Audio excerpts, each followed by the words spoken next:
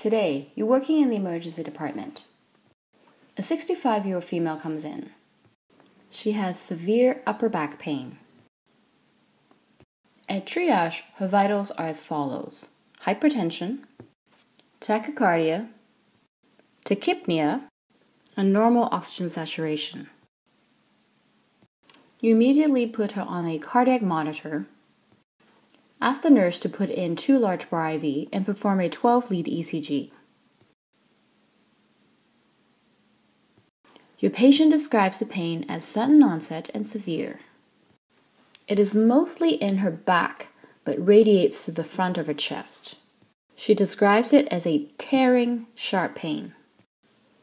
There is associated mild shortness of breath. She has no cardiac risk factors except smoking. On examination, she is uncomfortable with her back pain.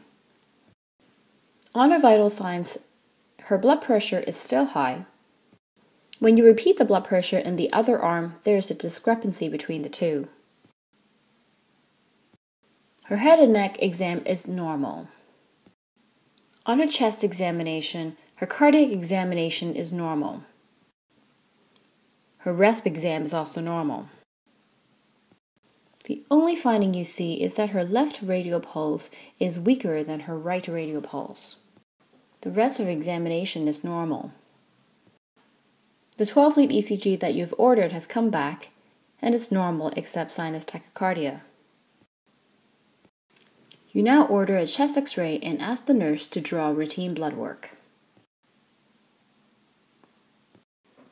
The chest x-ray shows a wide mediastinum. Based on her findings and her examination so far, he is suspicious of an aortic dissection. You now order the following IV medication to decrease her blood pressure, CT angiography, and you notify the vascular surgeon. Your CT scan confirms an aortic dissection.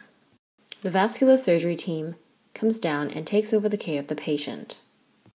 You now move on to see your next patient in the emergency department.